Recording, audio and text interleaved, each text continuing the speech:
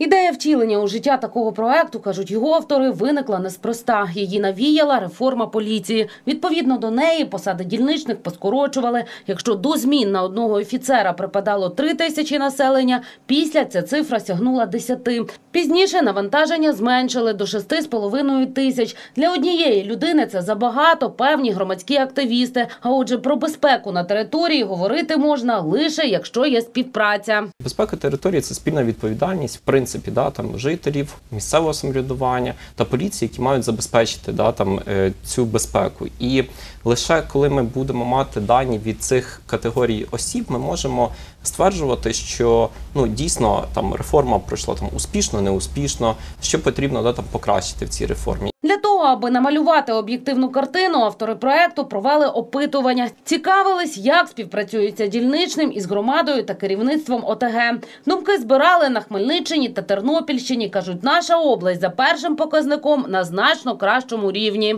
На території Хмельницької області в досліджуваних ОТГ в кожній з цих ОТГ є громадські формування, які допомагають поліцейським. Вони проводять спільні відпрацювання, спільні е, патрулювання. Е, Під час великих масових заходів теж допомагають дільничному. А на території Тернопільської області в опитаних ОТГ е, громадських формувань не було, і там за результатами дослідження співпраця мешканців і дільничних офіцерів поліції трошечки має гірші відповіді. Якщо із громадськістю на Тернопільщині співпрацювати важче, то із головами ОТГ проблем не мають обидві області. Хоча є інші нюанси. До прикладу, дільничним бракує матеріально-технічного забезпечення, а люди хочуть, аби на території в погонах був хтось з місцевих. Власне, для того, аби всі були задоволені, загальні питання, про які дізнались з опитування, активісти й озвучили копам. Останні проблем не відкидають, переконують, знають, які на сьогодні є, і вже активно працюють над їх вирішенням.